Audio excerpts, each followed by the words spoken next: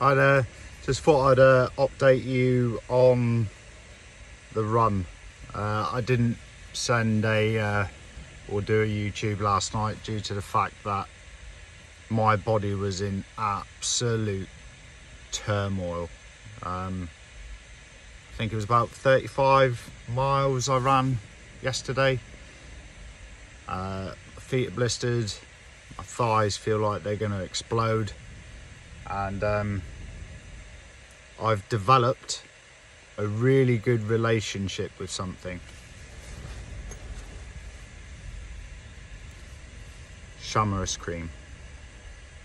Now this is uh, my new best friend because after cycling a thousand miles, the uh, gooch area has swollen a little bit. And due to the fact that I'm now running, that swollen gooch area is now rubbing. So it feels like I've got a blowtorch between my legs. And not only that, I feel like my feet have been in a cheese grater. So not only have I got a broken gooch, I've now got a gooch that's on fire. Feels like it's been in a blender. And my feet are hurting. And my thighs are hurting. My back's hurting. Um, I had to stop to do a BBC South uh, media interview, which was great. Um, looking forward to getting to the campsite tonight. Have a shave, square myself away. Uh, and it just seems like it's all uphill here.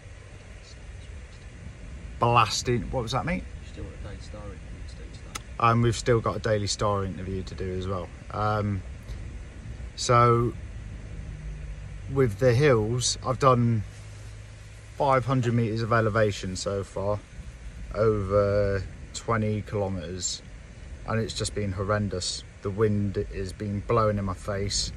I've had a gooch that's on fire, and my feet feel like they've been in a blender, or the other way around. It all hurts. Um, but I know that this little bit of suffering now, in comparison to the guys that I'm trying to raise money for, is insignificant, really. So um, I know it's worthwhile. I have to get Mark in here. That's the manager. That's the manager. That's the brains behind everything. He's not really said much. He doesn't really like interviews. He doesn't like being put in front of a camera, but I'm going to try and get him on one of my YouTube videos before he uh, disappears.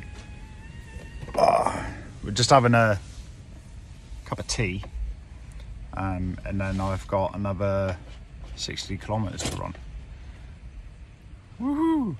Um, so if you can, please uh, donate uh, either to the Hummingbird or to the Felix Fund. Um, please, it, it means a lot as well if you uh, if you could subscribe to my channel. See if we can get us over a thousand subscribers so I can stream it live, coming over the finish line. And a like wouldn't go amiss as well. Um, anyway, stay safe and uh,